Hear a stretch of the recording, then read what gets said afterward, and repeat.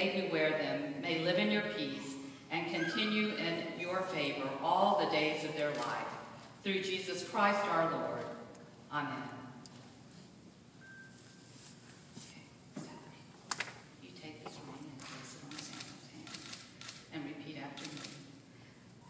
Samuel, I give you this ring as a sign of my vow, and with all that